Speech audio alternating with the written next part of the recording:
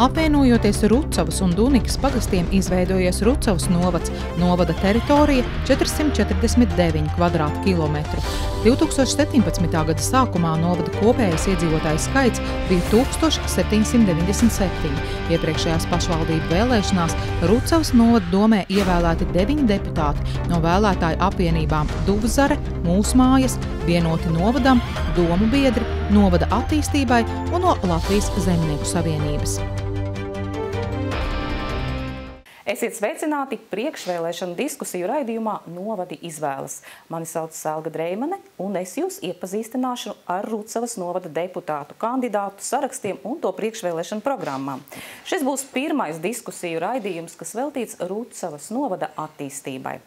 3. jūnijā Rucavas novada domē jāievēl 9 deputāti. Uz šīm vietām pretendēs 61 deputātu kandidāts no septiņiem sarakstiem. Šodien diskusiju raidījumā piedalās pa vienam pārstāvim no sešiem sarakstiem. Vēlētāju apvienības Dūzare pārstāvis aizņemtības dēļ nepiedalās diskusijā. Šodien diskusijā piedalās vēlētāju apvienību Mūsu mājas pārstāv Irēna Šusta. Labdien. Vēlētāju apvienību Jauns atvēziens pārstāv Daiga Ķēģe. Labdien. Vēlētāju apvienību novada attīstībai pārstāv līdzšinējais domas priekšsēdētājs Jānis Veits. Esiet sveicināti. Latvijas zemnieku savienību pārstāv Romārs Timbre. Jā, sveicināti vēlētāju apvienību vienoti novadam pārstāv līdzinējas domas priekšsādātāja vietnieks Andis Rolis. Visu cieņu. Vēlētāju apvienību domu biedri pārstāv Guntis Rolis. Esiet sveicināti.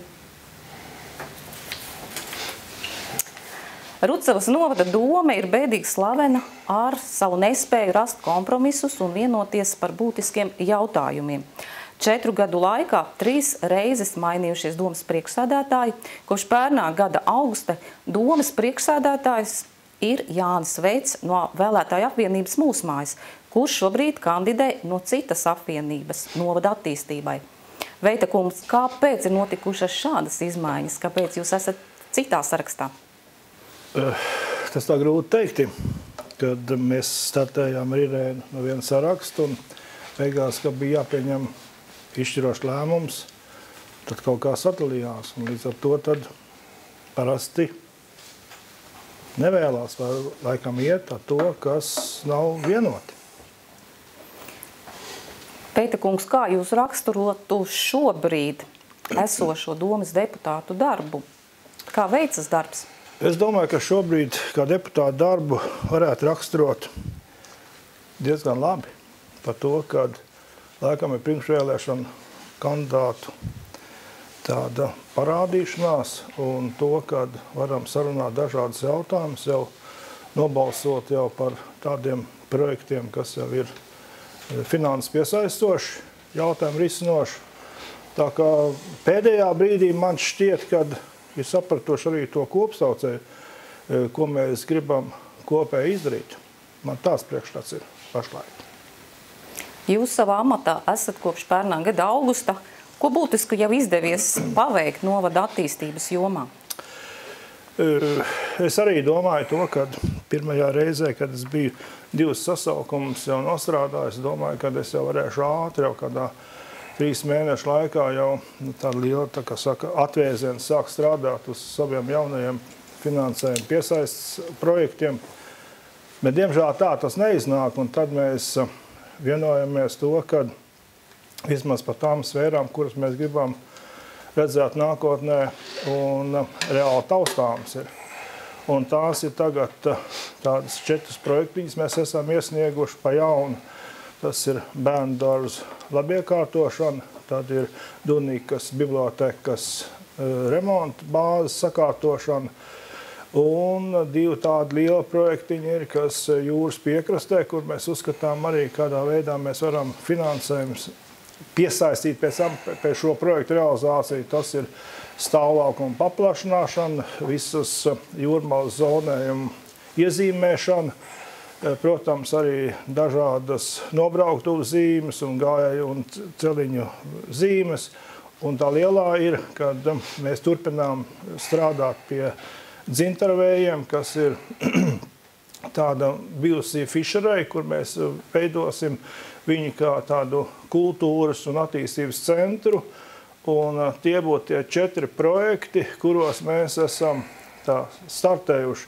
Protams, arī ir ar vēlētāju palīdzību, kas ir no saimas deputātiem, ir piesaistīti divi projektiņi arī, kas ir 2000 ir par krātuvītes uzlabošanu, un tad vēl ir 20 tūkstoši, kas ir saistīti ar um, ostas pirm izpētes projektu sagatavošanu. Tad, ir, protams, vēl ir Eiropas Savienības projekts, kur mēs piedalāmies, un arī ir aizstāvēts jau tagad, ja bija 4000, bet mūs tagad nu, nospieda uz 2150. Nu, tie tādi projektiņi, kas ir pirmajā tajā iespējamajā laikā, ir piesaistīti. Un tas ir tas darbs, jo es arī domāju, ka varēs ātrāk strādāt, bet iznāca tā, kā iznāca. Bet um, jāsaka tā, ka paldies Dievam, ka visiem šiem ir lēmumu projekti un nobalsot ir, un viņi virzās tālāk uz aizstāvēšanu. Un tad mēs vienkārši tad tāds priecīgs vēsts būs tad, ka mēs zināsim jau par to, ka tie iesniegtie projekti būs aizstāvēti. Paldies, Veita kungs! Šajās vēlēšanās pirmo reizi startē, varētu teikt, jauniešu saraksts, vēlētāju apvienība, jauns atvēziens. Kādas tad ir jūsu prioritātes? Varbūt nosauciet trīs prioritātes novada attīstības jomā. Vēlētāja apvienība jauns atvēziens būtībā ir veidota balstoties uz un izvērtējot pašreizējo pārvaldības sistēmu Rucevas novada domē. Mēs skatāmies ar iedzīvotāju acīm uz to, kāda ir līdz šim bijusi visa šī sistēma, kā viņa ir darbojusies attiecībā pret novadu, pret iedzīvotājiem. Mēs uzskatām, ka viņai ir jābūt efektīvākai, modernākai un caurspītīgākai. Bet tagad runāsim, es atvainojos, runāsim tieši par darāmajiem darbiem. Ko jūs trīs lietas nosauciet, ko jūs veiksiet novada attīstības jomā? Jā, tātad galveno prioritāti mēs liksim uz šo pārvaldes sakārtošanu, jo mēs uzskatām, ka pārvalde kā tāda un šī spēja vienoties uh, deputātu starpā un kopīgi uh, darboties novada labā ir, ir pats galvenais, kas vispār novadam ir nepieciešams.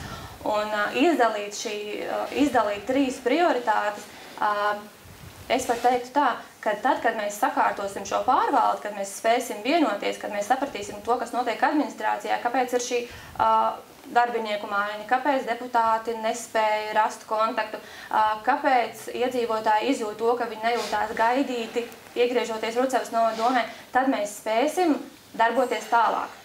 Tas ir viss pamatā. Tā kā būtībā Jā, būtībā es pat teiktu, ka mums ir tas viens galvenais darbs jāizdara, lai mēs saprastu tās trīs galvenās virzienas, ko mēs darīsim tālāk. Jo... Paldies! Jā. paldies. Vēlētāju apvienība mūsu mājas, kādas ir jūsu prioritātes attīstības veicināšanā? Nu, mums, gribu teikt, ka visiem mums ir ļoti izsvērtas programmas un, un lasot arī citu, citu sarakstu programmas mums ir ļoti daudz līdzīgu lietu, kuras ir šajos nākamajos četros gados jāattīst.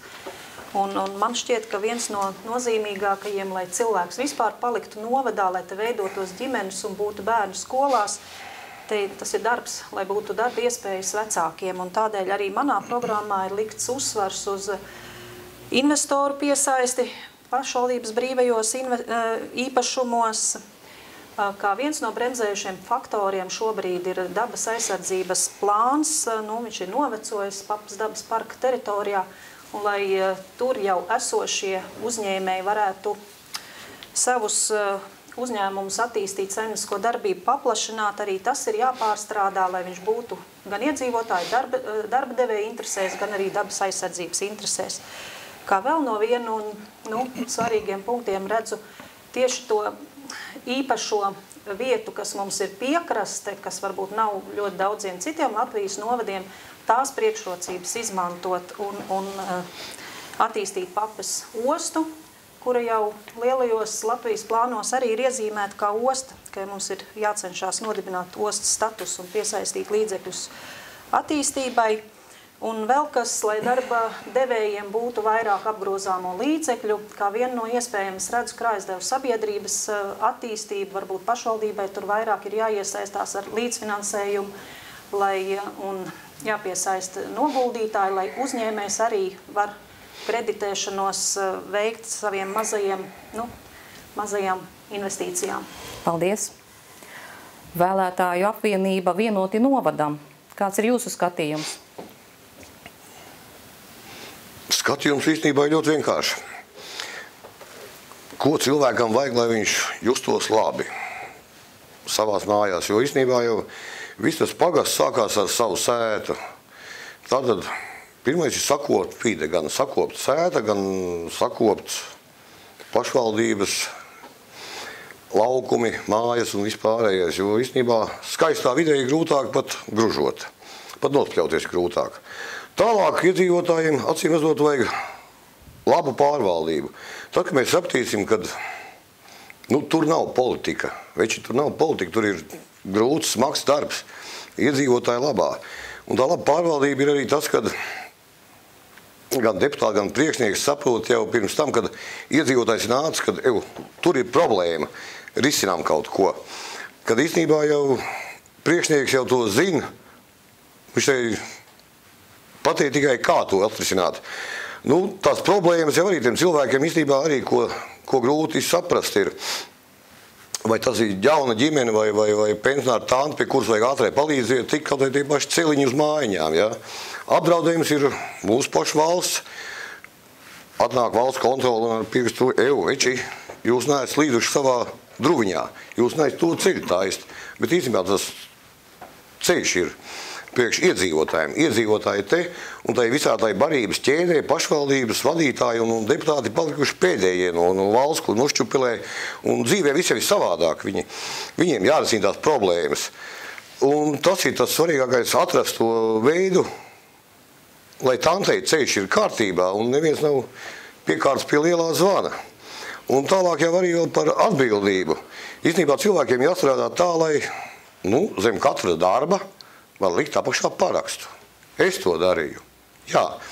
Ja kādam domas nesaskan vai kaut kas ir citādāk, tad katrā ziņā viņas ir jāargumentēt un, un, un, un jā, tad rodās arī tā sapratne un, Paldies, un kopīgi būšana par, par vienu Paldies, Roļakungs. Laiks. Vēlētāju apvienību domu biedri pārstāv Guntis Rolis. Kādas ir jūsu prioritātes?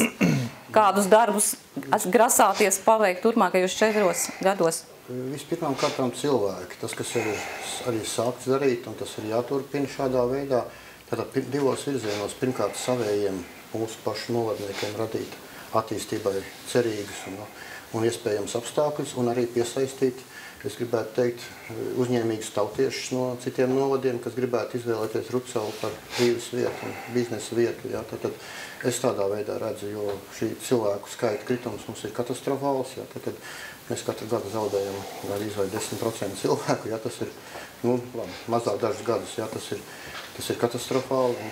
Par to mums ir jādomā. Es gribētu saukt atpakaļ mm, tautiešus, kas ir emigrācijā, bet nesaukt ar pliku saucienu, nāciet mājās, bet pie, izstrādāt programmu, piedāvāt tieši jaunajiem, kā viņi var savu pieredzi izmantot Rutsavā. Ja, tur būtu konkrētas lietas. Tad, konkrētas mērķa auditorijas, tad, kur, kurā, kurā brīdī cilvēks ir uzrunāts, tas viss ir izstrādāts apmēram, nu, teiksim tā, tas ir pamatots, bet uzsveru visu priekšlikumu, ko es gribu teikt, ja visi ir caur cilvēkiem, mēs diskutējam noteikti, ja, tās ir idejas. Tad, tad viņas ir jāpapildina, droši vien jāpieliek daudz kas klāt, un tālā, tādā veidā jāturpina. Nu, un vēl es redzu, ka mūsu novadā, teiksim, lauksainiecība attīstās, viņa attīstās prognozējami un stabili, un tas ir paldies valsts programmām, paldies uzņēmīgiem ļaudīm. Nu, es redzu, ka mums ir divi, divi tādi sektori, kur ir attīstība varētu notikt ļoti liecienā veidā. Tas ir piekraste un Bātas upes krasts. Šajā gadījumā tad, Rucavā tas varētu būt un, e, teiksim, piekraste, un Dunikā tā varētu būt Bātas upes krasts, un arī, es gribētu teikt, arī Ieču dārziņu teritorija ir nenovērtēta vieta. Tā ir vieta, teiksim, arī iespējamai apbūvei, iespējamai cilvēku piesaistē un ekonomiskā izaugsmē. Paldies, paldies. Latvijas zemnieku savienība. Kādus darbus veiksiet? Konkrēti, varbūt miniet piemērus. Jā, labdien! Nu, mēs jau arī savā programmā esam ietvēruši, un viens no mūsu skatījumā veidiem, kā veicināt labklājību Rucavas novadā, ir izveidot uh, uzņēmēju konsultīvo padomu. Tā mēs patreiz viņu esam nodēvējuši. Ja. Tas princips jau ir pavisam vienkāršs. Vairāk, vairāk aicināt kopā uh, vietējos uzņēmējus ir domāts gan zemniekus, gan individuālos komersantus, gan mikro uzņēmumus.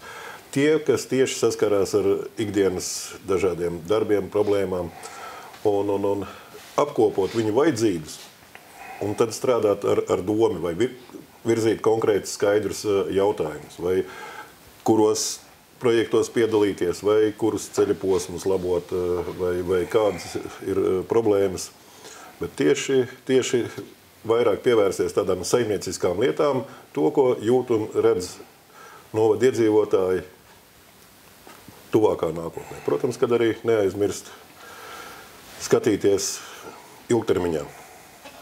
Paldies! Kādu attīstību un kādas prioritātes saredz vēlētāja apvienība novada attīstībai?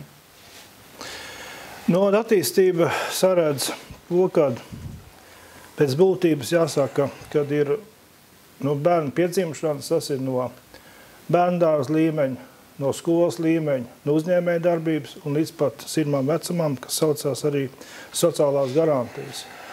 Un tāpēc arī tā doma ir ļoti vienkārši, kad nu, turpināt strādāt, kā mums ir iecer jau un arī konkurss izsludināts pie naudas piesaistīšanas, pie apgaismojuma, pie labiekārtošana celiņiem. Tad ir eh, arī sporta laukuma sakārtošana. Un atkal turpināt strādāt pie uzņēmēja darbības. Ļoti patīkami bija, un tā man arī doma bija iepriekšējā sasaukumā, ka tādu uzņēmēju kooperāciju veidot, kur satiekās eh, dažādu līmeņu pārstāvji, izrunājās savas tās būtības un sadalīt tās pienākumus, ko dara uzņēmēji, ko dara lauksaimnieki, ko dara konsultanti un ko dara pašvaldība. Sadalot tos. Un tālāk, protams, ir tas pēdējais, ka es saku, tas saulainās vecumdienas, kad arī strādāt par sociālām garantijām, kur mēs gribētu uh, sakārtot uh, sociālo māju. Tie būtu tādi virzieni, protams, tur tie, kas jau mums tagad darbojās, tos paplašināt, Arī Ladā ir izsludinātais konkurss par eh, līdzekļu piesaistīšanu uz ceļu būvniecību, uz eh, rekonstrukciju. Nu, tie būtu tādi, un, protams, eh, inventarizācija par īpašumiem, kurus mēs sakārtojam. Tā kā jaunaudas ir jākopj un arī pēc tam var gaidīt attiecīgos pieaugumu no finansiālā ziņā, un kurus nevar pārdot, remontēt. Nu, iztaisīt inventarizāciju un skatīties uz to virzienu, kurām mēs varam piesaistīt līdzekļus. Vai tas ir iekšējās rezerves, vai tas ir ārējās rezerves, kas saucās Eiropas Savienības un citu veidu fonda līdzekļi. Paldies! Rucavas dom, novada domai gan nav īpaši veicies ar Eiropas fondu finansējumu piesaisti. Tā kā jūs esat pieci pārstāvi, kas šobrīd jau ir domas deputāti, tad vaicāšu, kas tad ir traucējis, kas ir traucējis piesaistīt Eiropas fondu finansējumu un, un kā jūs redzat iespēju uzlabot situāciju? Varbūt sāksim ar domu biedriem. Domāju, ka vienmēr var labāk, protams. Ja? Un es gribētu teikt, ka uh, naudu var piesaistīt dažādi. Ja? Caur Eiropas fondiem, kā mēs jau runājām, un arī caur novada aktivitātēm. Tātad šajā gadījumā kā valsts finansējumu. Ja? Un es gribētu teikt, ka uh, ir izdarīts, piemēram, Iečupa un Līgupa tiek, uh, es atvainojos, Līgupa un, Līgupa un Paurup. Paurup tiek atvainojos, jā, pārrakti jā, par valsts līdzekļiem. Šajā gadījumā tā ir valsts programma, kur Rucavs novads ir, teiksim, atradis sadarbību ar, ar valsts nekustamiem īpašumiem, jā, ar Zemkopības ministrijas, un šis projekts tiek veids par valsts līdzekļiem. Piemēram, tāda pat iestrāde ir arī par optiskā tīkla izbūvi, ja, par, par Latvijas valsts radio televīzijas centru, kur, kur arī tā sadarbība mums ir laba. Mēs esam devuši ziņas, devuši garantijas, ko novads var darīt, aicinājuši uzņēmējus. Un, teiksim, tas ir realitāte, ka mums šis, šis kabelis teiksim, tiks apstiprināts nākošā mēnesī. Nu, ja tiks apstiprināts, protams, bet nu, projekts ir uztaisīts un apsekojums ir veikts. Un reāli arī ievilkt. Tad šī būtu valsts, nu, novads būtu strādājis tieši piesaistot valsts investīcijas. Tā ir viena nianse, ja. Nu, protams, arī Eiropas nianses. Tad es gribētu teikt, ka arī tie paši līdzekļu postas izbūvēja infrastruktūrā, ja, teiksim, es atvainojos koncepcijā, ja, tad, tad tas ir nāk kā līdzekļi un tas ir izdarīts. Bet, protams, var, var daudz, daudz vairāk. Un te es redzu katra deputāta devumu pie tā visa, teiksim, lai mēs tāds vienotos par šiem mērķiem. Paldies! Ko par šo jautājumu domā Latvijas Zemnieku savienība? Tik labi esat strādājuši, kāpēc tomēr tie projekti pamaz ir? Tas nu, finansējums tu maz salīdzinoši. Es domāju, ka, ka viens, viens no iemesliem, kāpēc eh, šajā sasaukuma periodā netika apgūti eh, Eiropas līdzekļi, viens no cēloņiem ir profesionālitātes trūkums.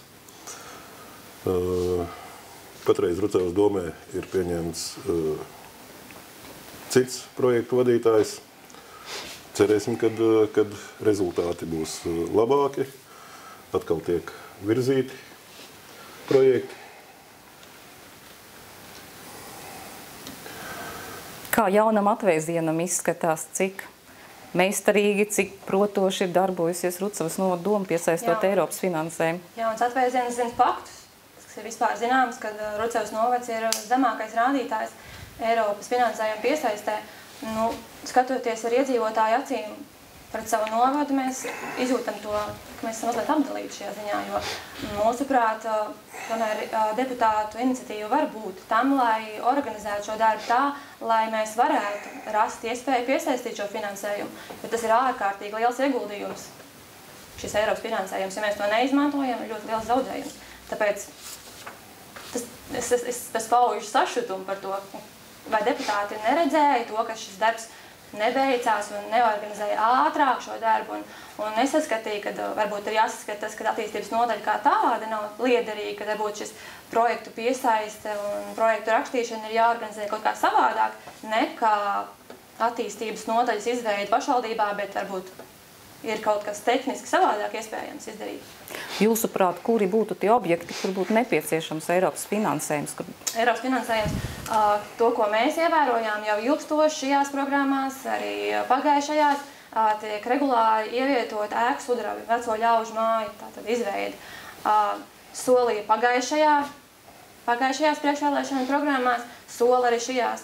Man liekas, ja šis mērķis ir tik strikti nostādīts, ka tiešām mēs to vēlamies, un ja mēs to apzināmies, tad kāpēc mēs to nedarām? Ja mēs zinām mērķi, nu, tad, ja cilvēks apzinās mērķi, viņš uz to iet ar visiem saviem līdzekļiem. Nu, un, kā zināms, doma tak strādā iedzīvotāja labā. Tas jau deputātiem nevajadzētu tik daudz laika pievērst uh, tam savstarpējai komunikācijai, kā izvirzīt savu ego vai, vai ko tādu, bet pievērsties reālai darbībai attiecībā pret iedzīvotājiem, pret viņu labklājību, pret novadu attīstību. Tas ir nu, vēlētāju apvienības jaunas atvēsiens redzējums, kā, kā mēs, kā iedzīvotāji, redzam to. Ko par to saka vēlētāju apvienība vienoti novadam? Nu, tas ceļš līdz naudai, manā skatījumā, ir tāds, ka nu, tas ir vadītājs pirmkārt, pēc tam deputātu un attīstības nodaļa un, un, un, un, un, un attīstības komiteja izvēlas tās prioritātes, un tad uz, uz tā arī mējām. Īstenībā jau arī tā ir. Visu izšķir kadri, nu, kliboja.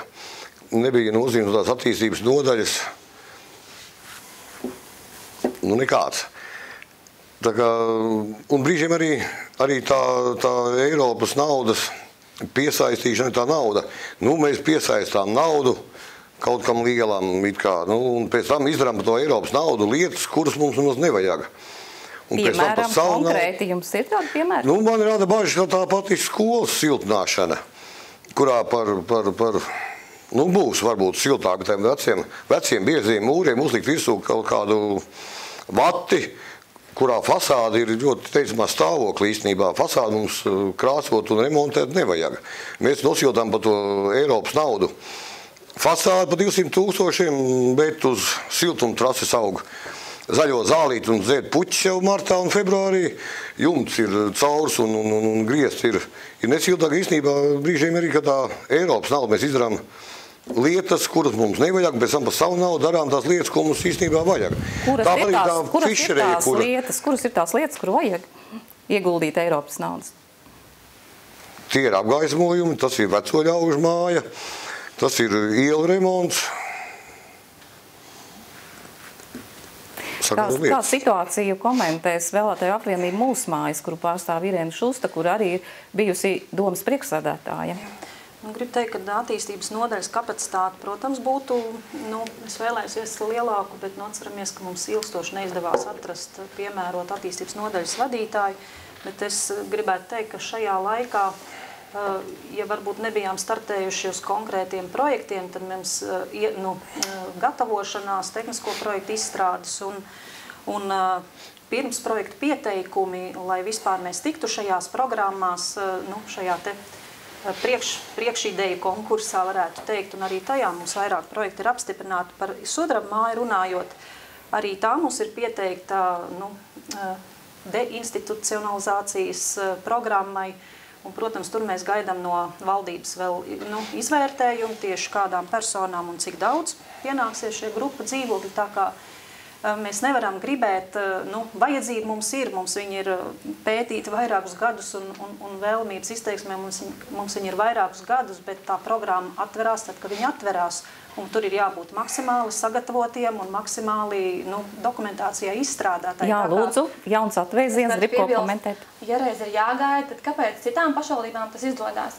Tad varbūt ir uh, mūsu pašvaldībai, Rucavas novada pašvaldībai jādodas pieredzes apmaiņā pie citām, tādējādi gūstot šo labo pieredzi, ko ienes savā pašvaldībā. Jo nu, runāt mēs varam daudz, bet mums ir kaut kas jādara. Nu, mēs nevaram gaidīt, kā jūs šis kundze minējāt par to, ka ilgstoši neizdevās atrast attīstības nodaļas vadītāju. Ja mēs redzējām to, ka viņš neizdodas atrast, tad kāpēc mēs nemēģinājām piesaistīt citas metodas, lai organizētu šo darbu? Jo kāpēc mēs esam paši pēdējie visā Latvijas republikā? Tas rādītājs ir vienkārši graujošs. Nu, es, es gan gribētu piebilst par šo pēdējo rādītāju, jo cik es skatījos uh, ievietoto informāciju, tad tur visi Rucavas novada projekti nemaz nav atspoguļoti, tā kā mūsu rādītājs noteikti ir diezgan augstāks. Bet par, eh, tā, eh, par eh, projektiem, piemēram, pie, piemēram par projektiem, kas ir attiecībā uz LADA projektiem, ceļu, ceļu rekonstrukcijai, tātad tur arī mēs strādājām jau kopš 2016. gada pavasara. Tad par skolas siltināšanas projektu, kur arī mēs esam izcīnījuši finansējumu. Tikai tagad ir dokumentācijas jāizstrādā. Tur tika piesaistīts uh, uh, profesionāli projektu izstrādātāji. Tā kā ir darbi, kas ir iestrādes, ir veikts. Ko par to teiks līdzinējais domas priekšsēdētājs Veita kungs? Tā, protams, ka jaunas atvēziens domā, ka tas tik vienkārši bet tā Atslēga ir to, ka, lai dabūtu projekts, ir jābūt ļoti daudzām iestrādnēm. E, tā kā jau Roja kungs teica, ka e, mums ir jāzina, uz kurien mēs ejam. Un tad ir jābūt arī tās valdības stabilitātei. Tie pagasti vai novadi, kur ir vairākus gadus strādājuši un zina jau secībā un attīstības plānā iezīmētās tās virzienas, tiem ļoti vienkārši. Viņi jau sāk ar pirms izpēti, e, tad projektēšana, tad jau iepirkums uz būvdarbiem. Tas nozīmē to, ka pavarās tāda iespēja uz attiecīgās programmas, tad tas projekts jau ir ļoti lielā gatavībā un pēc iespējas viņus var dabūt iespējamos aizstāvēšanas punktus. E, mums, ja būs stabilitāte mūsu valdībā, ja mēs vienosimies par tiem mērķiem, kurus mēs gribam sasniegt, tad mēs lēnām ejam uz tiem, un tas saucās iestrādnes un valdības stabilitāte. Problēmas vairs tad nav. Kādā veidā mēs sakārtojam, vai tas ir attīstības nodaļa, vai tas ir attīstības pakalpojums no citām attiecīgajām institūcijām, tieši konkrēto projektu sagatavošanā, iesniegšanā, tās pilnīgi nav problēmas, bet problēmas ir stabilitāte un iestrādnes. Paldies! Jaunam atvēzienam ir ko piebilst. Komentārs, jā, jo minējām, ka mēs nezinām, uz kurieni īsti mēs ejam, bet tāpat laikā Rucavas novada pašvaldībai tā ir izstrādāts ilgspējas attīstības stratēģija, mums ir attīstības plāni, mums taču viss ir. Tad sanāk būtībā no jūs teiktā tā, ka šajos ilgspējīgas attīstības plānā, kā galvenajā plānošanas dokumentā, nav atspoguļots tas mērķis, uz kuriem mums būtu jādodas. Nu, es varu es komentēt? Jā. Jā. Neiet runa pa plānu, ir runa par to, ka iestrādnes, uz kuriem mēs esam konkrētās rīcības, rīcības gadā gribam paveikt, plānā ir un uh, Nacionāla attīstības plānā ir ļoti daudz iespējas. Bet piedod man, lai mēs paskatītos to, lai mēs varētu viņus realizēt, tad vairākas iespējas. Viena iespēja par to, vai mēs ņemam attiecīgo piedalīšanos Eiropas Savienības fondos, vai otra iespēja par to, ka mēs ņemam kredītu un skatāmies, cik mums tas kredītu portfels ir liels, lai vispār mēs varam viņu pacelt. Un tas ir tas, visos projektos arī mums nav iespējams piedalīties. Jo viens tāds projekts, ko mēs arī atteicāmies, tas ir Latvijas-Lietuvas pārobežu projekts, kur realizācijā tiek finansējums atgriezts pēc deviņiem mēnešiem. Mēs apstījāmies tos prioritātes, kādas mums ir. Mēs palikām pie savējiem, gaidot un izstrādājot projekts un skatāmies atkal nākotnē, kur mēs viņus varēsim iesniegt domu biedriem, ko piebilst? Mēs uzskatām, ka vajadzētu arī konsekvenci mums pašiem kā deputātiem un vairāk uzticēties speciālistiem, jo tas pats piemērs par, par eh, dzintarvēju projektu, ja, kur mēs mm, sāp, kopīgi vienojoties bijām veikuši priekšizstrādes darbus un bijām dabūjuši valsts garantētu līdzfinansējumu 300, ja nemaldos 98 tūkstoši, ja, kas Rucavai milzīga nauda. Ja. Mēs šo naudu uzdāvinājām Liepājā. Visu cieņu Liepājai, viņi mācīs izmantot. Bet te ir runa par to, ka tagad mēs teiksim, atkal mēģinām ar iekavēšanos, nu, atkal visu cieņu vadībai, ja, bet mēs cenšamies ielikt atkal vilcienā, mēģinām šo projektu restartēt savādākā veidā, bet ja mēs viņu būtu tad realizējuši, mēs varētu iet pēc cita projekta šajā gadījumā. Un, un labi, tas ir viena liela lieta, bet ir arī tāda sīkumiņa, teiksim, ja mēs uzticamies speciālistiem, bija piedāvājums, piemēram, tais pašos sikšņos, tur dažas laktērnes, piemēram, nu, tur desmit laktērnes apmēram nomainīt par valsts līdzfinansējumu apmēram, es no galvas tagad neatceros, 75 vai 80%, šķiet 75, ja, tad, tad novadām būtu mazāks līdzfinansējums. Arī no tā mēs savu laiku it kā atteicāmies. Protams, tur varēja būt arī noraidījums, ja, bet mēs izlēmāmies šajā projektā nepiedalīt. Nu, tad, tad mums vajadzētu vairāk ticēt saviem tehniskiem speciālistiem, kas ir veikuši sagatavošanas darbus, ja, kas ir konstatējuši, kā ir Latvijas jārīko, kā ir jārīko tā instalācija, kā ir jārīko siltināšana, kādas problēmas ir ar ventilāciju. Mēs varbūt gribam, tas ir visu cieņu deputātu kolēģiem, mēs it kā iedziļināmies šais jautājumos, ja, bet tas ir viņu darbs un mums tādā ziņā viņam vairāk ir jāuzticās, tā es gribētu teikt. Viens skatītāji pavisam konkrēts jautājums, proti, vai dzirnavu ēka Rucavas centrā tiks atjaunota un ko katrs no sarakstiem domā tur izvietot? Sāksim varbūt ar jaunu atviezienu. Uh mhm. -huh esam ievērojuši ēku, un mūsuprāt, viņa ir ļoti labs novietojums, centrs un, un, un, un ēka kā tāda liela. Mūsu rosinājums būtu izveidot šo ēku par labu uzņēmējiem. Iespējams, mm, piesaistot Eiropas Savienības finanšu līdzekļus, cik nu mēs vēl tos varam šajā plānošanas periodā, iespējams ar telpām, kā piemēram atvieglot vai pat neprasīt maksu par šo telpu izmantošanu, jo neslēpsim to faktu, ka mums ir ļoti daudz mājražotāju, amatnieku novadā, kas būtībā viņi nav pacelti. Nu, kā piemēram tā pati Rucavas novada mājaslapa, pie kuras būtu ārkārtīgi daudz jāstrādā. Iejot šajā mājaslapā, mēs īsti nevaram konstatēt to, kas tad mums novadā ir. Mēs neesam to parādījuši kā vienu kopainu. Nu, tad varbūt mēs šo ēku centrā esošu varam izmantot šādam mērķim, kā, kā mājražotāju uzņēmēju kaut kādu kopu kop, saucēju vietu. Tā? Paldies. Šustas kundze, ko Jā. domā?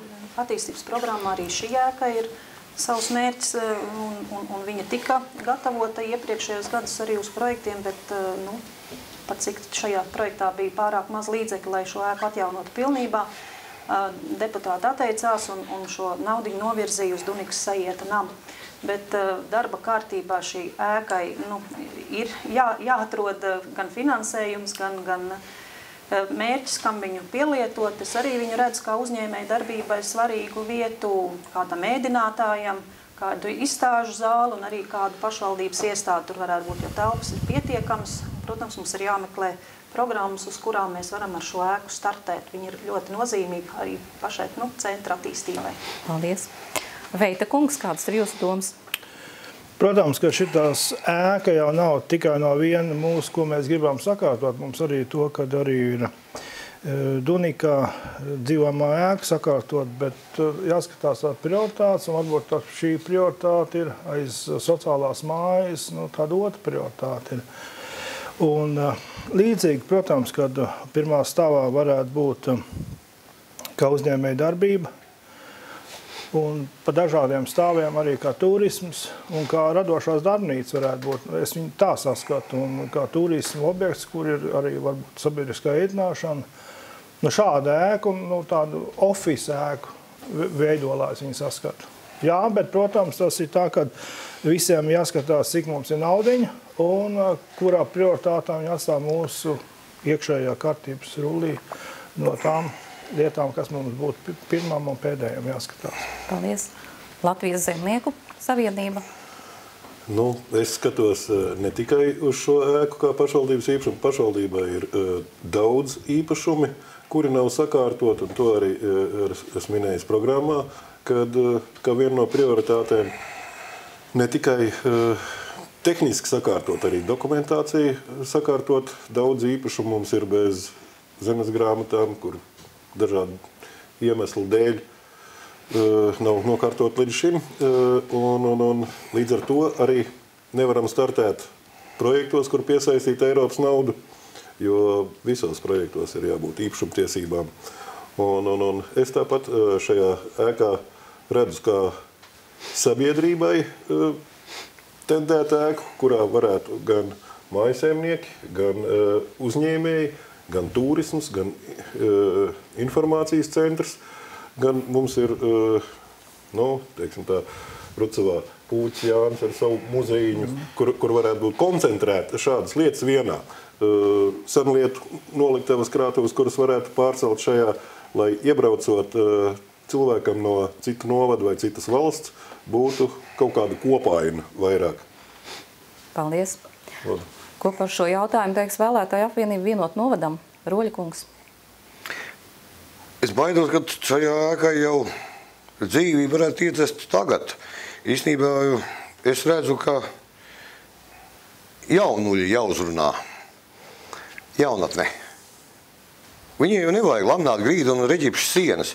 Īstenībā es domāju, ka viņi būtu gatavi iet savu kopā būšanu un, un, un, un viņiem zināmas, saprotamas un, un paceļamas lietas darīt jau tagad. Ziemā, protams, tur vajag kaut kādu mazu apkurību, bet viņi ir ekstrēmāki. Nav pensijas veciem cilvēkiem, kā vajag zofā. Pufus nolieku, viņi ir gatavi runāt. Un īstenībā tas viņiem arī iedvesmu, dot iedvesmu līdzdarboties un, un, un palīdzēt pašvaldībai, ka viņiem ir savas telpas jau kaut kur. Un, Un sākt jau ar to, jo to dzīvi varētu ievest tagad. Paldies! Ko domu biedri varētu piebilst? Domu biedri saka, ka mēs esam spējīgi nodrošināt arī laminātu grīdas droši vien un primārā, primārās ērtības un tad pavisam konkrēti. Tas ir tagad? Jā, tad pavisam konkrēti. Ja gribam būt uh, objektīvi, tad tā bija taisnība, ja, ka šī nauda, kas tur tika paredzēta, tika novirzīta Dunikai, tad šajā gadījumā, nu, Dunikas sajiet namam, tad, tad tas ir tāds reāls. Tā nauda bija paredzēta Dunikas sajiet namam jau iezīmēta pirms pašvaldību vienošanas. Viņi gribēja novirzīt tikai uz turieni. Ejam tālāk. Tātad uh, ir, ir runa par, par šīs ēkas tātad, saglābšanu. Un, te, teiksim, šajā gadījumā tur vajag projektu naudu, bet pavisam konkrēti. Ja, tātad dombiedri uzskata, ka divas lietas, kas ir jārisina nekavējoši, tās ir senlietu ekspozīcijas Dunikā saglabāšana, ja, jaunās telpās, vai, teiksim, nevis telpās, bet jaunā kvalitātē, teiksim, Ausmai padvalkai palīdzība, ja, un arī Pūķjānim. Un konkrēti, ar Pūķjāni ir panākt vienošanās, kad viņš būtu ieinteresēts tur ierīkot savas ekspozīcijas daļu, tad, tad, tad pamata ekspozīcija paliek tajās telpās, bet tur daļu. Un ja, ja pagasts, teiksim, varētu par tāmi, kur, protams, nav izstrādāta, jo vienošanās bija burtiski šajās dienās, ja Pūķi Jānim pēc ilgām pārdomām teiksim, šādas idejas mums uh, apstiprināja. Ja? Tad novads, es, es, es lūkšu izstrādāt tādu, cik tas varētu maksāt. Tad minimālā apkure, minimālās ērtības un minimālā ekspozīcija. Ja? Un, ja, ja, tās, ja tā tiks izdarīta, es lūkšu deputātus par to nobalsot. Par minimālām sākumu, tātad par ekspozīcijas puķi Jāņa daļas izvietošanu tur. Un tālāk būs arī priekšlikumi par, par, par, par, par lauksārgu ekspozīcijas uzlabošanu. Paldies. Par minimālām labinās neiznāk. Iedzīvotāju jautājums ir vēlētāju apvienībai jauns atvēziens. Priekšvēlēšana programmā jūs rakstāt, ka veiksim saulaicīgas darbības, lai nodrošinātu attīstības un budžeta plānošanas sasaisti. Ko tas īsti nozīmē? Šeit varētu minēt, kā jau iepriekš Veita kungs minēja, par to, ka mums ir jāzina, uz kurien mēs ejam. Tātad budžeta un attīstības sasaiste izpaustos tajā, kad mēs budžetu plānot atbilstoši pašvaldības plānošanas dokumentiem. Un tas nav noslēpums, kad pagājušajā mēnesī, ne, maldos, 17. februārī, tika publicēts valsts kontrolas ziņojums tātad par liederības revīziju, un arī tur ir minēts. Un es domāju, ka ar viņu var iepazīties ik viens interesants, kurš vēlās, un kad mēs ļoti labi zinām un to, ka iedzīvotāji saprot, un viņi domā līdzi un skatās, kad, kad piezīme par to, ka iespējams mums liekas, ka viss ir tik ārkārtīgi vienkārši, bet tāpat laikā nu, norādīt uz to, ka mēs īsti nesaprotam, es tam nepiekrītu, jo mēs domājam un skatāmies līdzi, un arī attiecībā pret vēlētāju apvienību jauns atvēziens, kad mēs uzskatām tā, kad, lai kāds būtu vēlēšana rezultāts un kā tas viss norisinātos tālāk, mēs turpināsim sakot līdzi domas darbam. Paldies! Tā kā tuvojas raidījuma izskaņa, tad katram no deputātu kandidātiem ir iespēja uzdot savu jautājumu par Ucavas novada attīstību savam konkurentam. Kā pirmajam došu vārdu šo iespēju izmantot vēlētāju apvienības vienoti novada pārstāvim Andim Rolim. De, Jautājums kam? kāds ir, Domu biedriem jums ir Jā. jautājums, ja? kāds ir skatījums par to pašu Eiropas projektu apguvi, naudas piesaist novadam? Jau ok, pamatojiet, ja citādākas domas arī pamatojiet. Īstenībā par šo tēmu, ja mēs esam Nu, izrunājuši, īstenībā es gan būšu spiests atkārtoties. Es runāšu varbūt tieši par savām aktivitātēm šajā jautājumā, eh, kas varbūt ir... Laiks viena minūte. Jā, mazliet. Eh, Tad, tad, eh, nu, tā, ir mana iniciatīva, mana priekšlikuma, kas ir veikta. Tātad šī sadarbība ar zemkopības nekustamiem īpašumiem par projektu realizāciju un potenciāli, teiksim, tik iesniegts saraksts arī par objektiem eh, Dunikas pagastā, kurus varētu būvēt, jā, bet loģiski Rucavas upes bija lielākas sāk ar tām, loģiski. Tad potenciāli tur arī papas mola izbūve, arī, arī papas lūžu daudz uh, sāpīgā jautājuma par valsts līdzekļiem es uzsvēru. Es domāju, ka tā ir, tā ir nu, reāla iespēja. Jā, un plus vēl šis internets, teiksim, par valsts līdzekļiem, ko es teicu, jā, kas mums nāks kā, kā jauniem cilvēkiem, nu, iespēja izvērsties, kā dzīvesvietu Rucavu izvēlēties. Kāds būs jūsu jautājums un kam? Es gribētu Irēnai Šustai pajautāt. Es redzēju viņas programmā, tā, tā gan ir daudzās programmās, ja, bet es redzu tādu interesantu nišu, kā, kā, kā nu, visu izsaka finansējums. Ja. E, Kā jūs redzat to, piemēram, to vietējo finansējumu, krājas devu sabiedrību, kā jūs redzat, vai tā ir perspektīva lieta un kā jūs redzat viņas nākotni. Ja? Rucavā, Rucava ir tā unikālā vieta, kur tā darbojas par, nu, teiksim, šajā gadījumā varbūt pat, teiksim, drosmīgi par spīti banku, teiksim, nu, nostātnē, ja? Jā. Latvijā šādas krājasdevu sabiedrības nav nemaz tik daudz, un paldies Veita kungam, kurš uh, savos nu, iepriekšējos vadīšanas gados šo ideju atnes uz Rucavu un piesaistīja līdzekļus un iestājās cilvēki kā biedri, un tiešām ļoti daudziem, daudzām privātpersonām tie bija noderīgi. Noderīga iespēja, nu, ja bankas nedod kredītus tur vai lielākus nodrošinājumus, šeit kaut kādām savām nu, netik lielām vajadzībām tomēr šos aizņēmumus saņemt.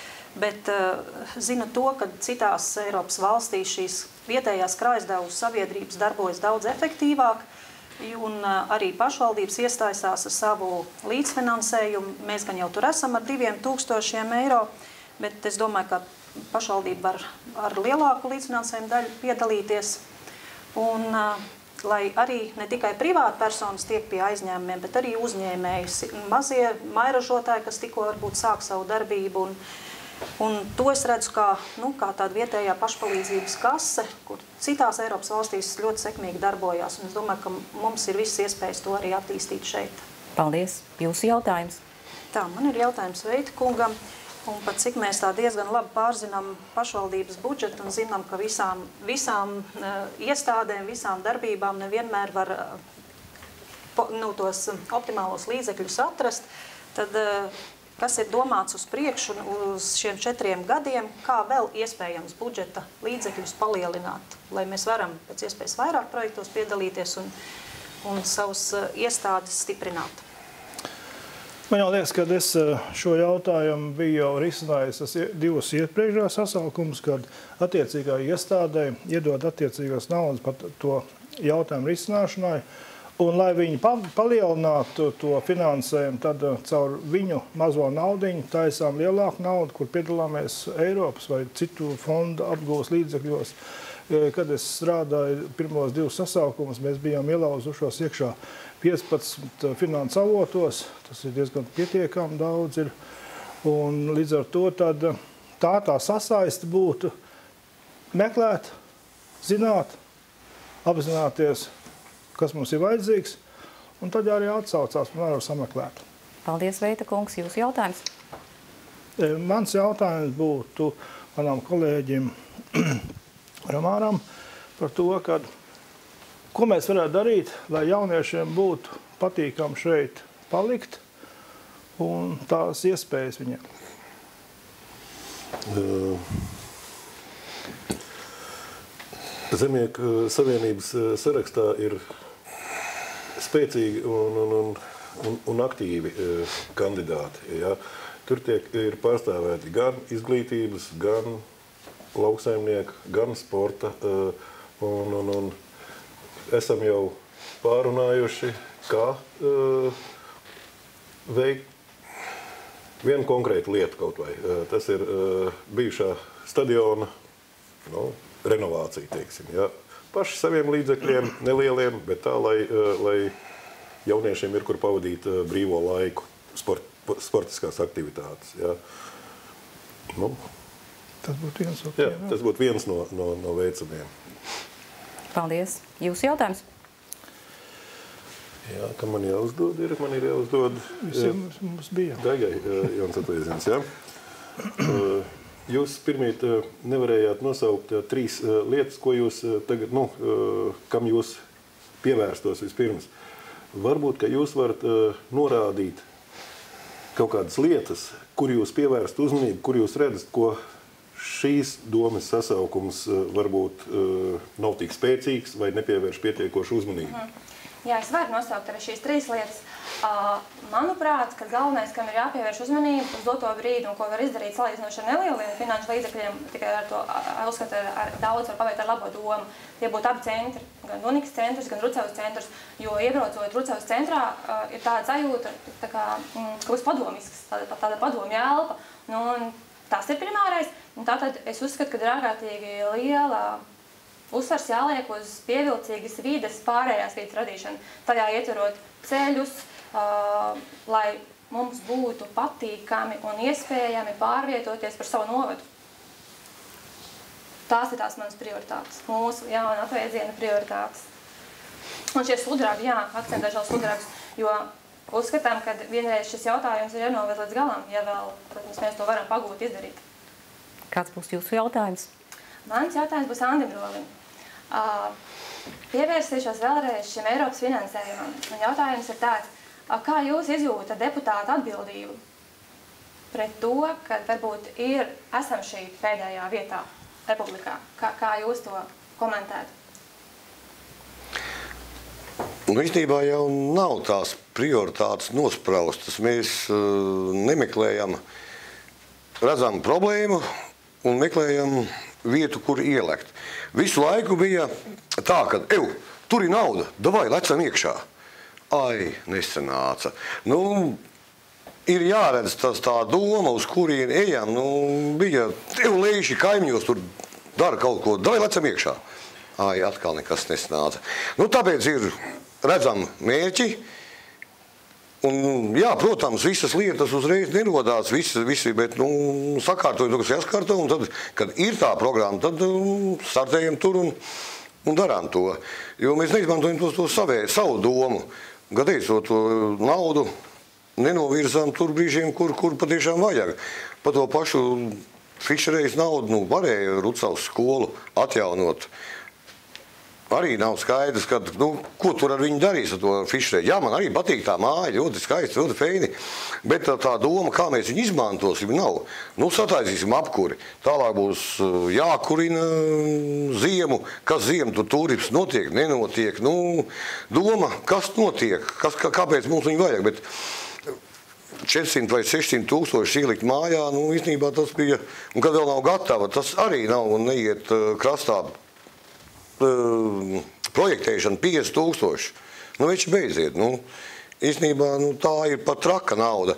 Tāpēc jau arī um, nu, neatbalstīja to projektu. Un varbūt iespējams, ka labi, ka, nu, labi, ka, ka viņi neplika Rucavā tā nauda. Tā bija stipri jau kļūda, bet tā kļūda jau bija teicis iestrādnieks, kad, kad neredzējām to virzienu, uz kur ejam. Tāpēc neplika tā nauda. Tad būtībā jūs piekrītat tam, ko minēja, kad ir jāveic šī budžeta un attīstības sasaisti. Tādā veidā pilnveidojot šos attīstības dokumentus. Protams, jo, nu, jā, kad ir jābalso par to, mums ir tāds un tāds projekts, tur, tur kaimiņi taisa tādu, lecam iekšā. Nu, protams, it kā vajadzīga lieta, bet beigās jau, eju, nu, vienalga nekas nebūs, davai balsojam, lecam iekšā, bet, nu, un beigās tad kaut kā mums tā nauda pietrūks. Jā, tas jāsasaist, jā. Paldies. Paldies. Uh, pirms noslēdzam šo diskusiju, ir viens vērīga Rucavas iedzīvotāju jautājums. Proti, priekšvēlēšanu programmās atslēgu vārdi ir iespēja robežās turpināsim. Vai uzskatāt, ka novada attīstība līdz šim bijusi laba? Un ko plānojat darīt, lai iespēju robežas padarītu plašākas? Lūdzu, pusminūti atbildēm. Sāksim varbūt ar domu biedriem. Es gribēju teikt, ka mums noteikti ir jāskatās uz priekšu. Mums, piemēram, šogad, ja šī gada beigās beidzās Papas dabas parka attīstības plāns. Ja, tad mums jau tagad bija jābūt izstrādātiem priekšlikumiem, lai šī Papas dabas parka plānu iedotu. Ja. Es, es ļoti aicinu deputātus tam pieslēgties, jo tā ir visu atbildība un visu iniciatīva. Tas nav vajadzīgs Rolim Andim, Rolim Guntim vai, vai kādam konkrēti. Ja, tas ir vajadzīgs mums visiem kā novadam. Ja mēs esam teikuši par šo, mēs esam nu, teiksim, bijuši ar mieru uzņemties atbildību, mums tā ir jāvirza. Tāpat teiksim, arī par, par novada attīstības plānu. Arī par to mums laicīgi jau jādomā, kā mēs viņu veidosim, tā lai tas būtu mūsu interesēs. Lai nebūtu kāda, kaut kāda veida ilūzija, ka nauda tiek piesaistīta šā vai tā. Un es domāju, deputātiem tik tiešām bija iespēja visiem dot priekšlikumus, un tas, tas demokratiski tika, eh, tas bija iespējams. Ja? Es, es tā domāju, ka mums tādas ir iespējas, ļoti liels iespējas, kuras ir jāizmanto kopā. Vienoti novadam, kā uzskata? Attīstība ir ģimenes ar bērniem sauktie jaunuļi. Nāciet šurp, jā, viņiem jānodrošina cienīgi apstākļi, gan sports, gan, gan kultūra, gan vispārējais. Un, un tā ir tā nākotne. Un mēs esam izstrādājuši, mēģināt atbalstīt arī pusdienas eh, bērnu dārzā. Izdevās eh, pirms eh, skolas iestādēs, bija iepriekšējā reizē, bija runa par to, tas izdevās, ir atbalsts no pašvaldības. Paldies visiem, kas balsoja par. Nu, tagad arī pusdienas, jo īstenībā nav jau tas kopgals katram, katram, katram mājā tik bagātīgs, jo īstenībā un arī tas maks, un lai tas bērns apgūst. Paldies, paldies Roļkungs. Tīmras kungs, kā skatās uz šo jautājumu? Arī vairāk kārt es domē atgādināju vai, vai ieteicis, ka es meklētu papildus vēl ne tikai cik spēja mūsu attīstības nodaļa, bet Eiropas fonda atbilstam arī savādāk. Var pirkt arī kā pakalpojumu. Ja? Kā jūs Tas uzskatāt, ir... novada attīstība ir bijusi laba līdz šim? Noteikti nē. Vienmēr var būt labāk. Rucavā nav bijusi laba. Un, un, un viens no iemesliem, ko es teicu, man liekas, ka tas ir profesionalitātes trūkums. Viens no iemesliem ir uh, atšķirīgu skatījumu. De, deputātiem atšķirīgi skatījumu uz, uz, uz konkrētām uh, lietām. Uh, un, un, un, bet tikai par kaut kādu konstruktīvu, saprātīgu attīstību. Paldies! Šustas kundze! Tā, es gribētu teikt, ka eh, es aicināšu visus ievēlētos deputātus pirmajā eh, nu, sanākšanas reizē varbūt nerunāt pamatiem, kurš priekšādētājs, kurš vietnieks, bet nospraust kopīgu no visām septiņām programmām, eh, apkopotu programmu, mērķu programmu visiem četriem gadiem un vienalga kāds ir priekšsēdētājs, kurš ir vietnieks, lai šai programmai strikti, strikti sekotu līdzi un viņu pildītu. Jo katrā programmā mums ir daudz kopīgas lietas, un, un katram ir pa savai odziņai, un arī tās odziņas mums var ļoti labi palīdzēt, palīdzēt attīstīt novadu. Tā kā vajag izstrādāt vispirms programmu no visām šīm mūsu kopējām programmām likums vēlēt citādāk. Pirmajā sēdē jāievēl ir priekšnieks. To mēs varam darīt pirms tam, pēc, pēc ievēlēšanas. Nav obligāti sēdi jābūt. Tad jāsnāk nu, pirms sēdi. Tu tur nāk par sēdi. Kā jauns atvēziens vērtē novada attīstību? Tieši tā es piekrītu par to, ka tiks veikts un tiks uzlabots. Tāpēc arī Jānis Atvēziens savā programmā pārsvarā norāda, ka veiksim un tiks izdarīts. Tādējādi došot to uzmanību, ka tas mūsu plānotais un ietvērtais priekšvēlēšana programmā nav tikai tukšie vārdi, kas, kas varbūt mm, reizēm programmās tiek ietvērts, tāpēc, lai piesaistītu konkrētā momentā vēlētāju, bet tāpat laikā, skatoties nākamajā priekšvēlēšanu aģitācijas periodā, mēs secinām to, ka nu, nav izdevies. Un noslēgumā Veita kungs, kā jūs vērtējat nodu attīstību? Es vērtēju, ka pamat, pamatā ir vēlreiz atkārtot tā stabilitāte un iestrādnes. Un es gribu arī pateikt to, ka ir jābūt tādam kā uzņēmējiem kopējai organizācijai, kur mēs varam palīdzēt ar to, kas ir iespējams tieši no pašvaldības puses. Un plusā vēl visam tam, kad mēs varam piesaistīt līdzekļus no dažādiem fondiem, izzinot, kas ir tās vajadzības, kas mums ir plānotas. Un, protams, pat pašu galveno es varbūt arī minētu, ka tās inovatīvās metodas, kas ir dažādās pagastos vai novados jau ieviestas arī ārzemnieki, un piesaistīt, protams, jaunatnes izglītošanu caur jau eh, dažādām mācību augstskolām un arī novada attīstībai, kā uzņēmē darbības pilnveidošanai, un uz tiem resursiem skatīties, kādā veidā mēs varam attīstīties. Paldies! Kā redzams, tad jautājumu problēmu loks Rucavas novadā būs visai plašs, ko nāksies risināt nākamajiem deputātiem. Taču kuri tie būs, par to, protams, lems paši iedzīvotāji 3. jūnijā, ejot uz vēlēšanām. Šis bija pirmais priekšvēlēšana diskusiju raidījums novada izvēles, kas veltīts Rūcavas novada attīstībai. Uzredzēšanos!